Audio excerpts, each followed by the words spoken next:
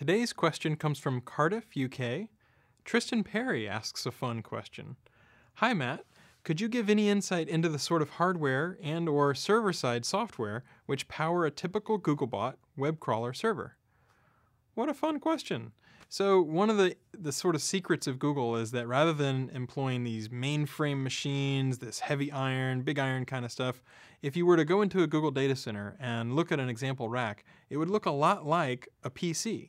So there's commodity PC parts. Um, it's the sort of thing where you'd recognize a lot of the stuff, you know, from having opened up your own computer. And what's interesting is rather than have like special Googlebot web crawling servers, we tend to say, okay, build a whole bunch of different servers that can be used interchangeably for things like Googlebot or web serving or indexing. And then we have this fleet, this armada of machines, and you can deploy it on different types of tasks and different types of processing. So hardware wise, they're just, they look, they're not exactly the same, but they look a lot like regular commodity PCs.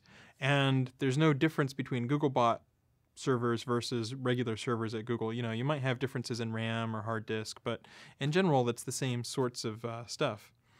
Now, as far as server-side software, um, there's a little bit of a joke at Google that says we don't just build the cars ourselves and we don't just build the tires ourselves. We actually like vulcanize the rubber on the tires ourselves. So we tend to look at everything all the way down to the metal. I mean, if you think about it, there's data center efficiency, um, there's, you know, power efficiency on the motherboards. And so if you can sort of keep an eye on everything all the way down, you can make your your stuff a lot more efficient, a lot more powerful.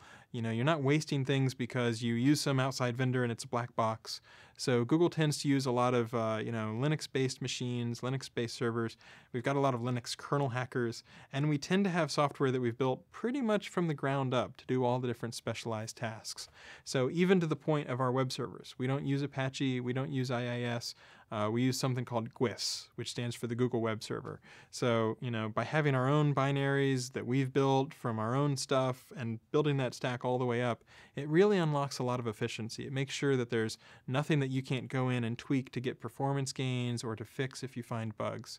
Um, so that's just a little bit of a view of hardware and software side as far as what goes behind Googlebot and crawling the web.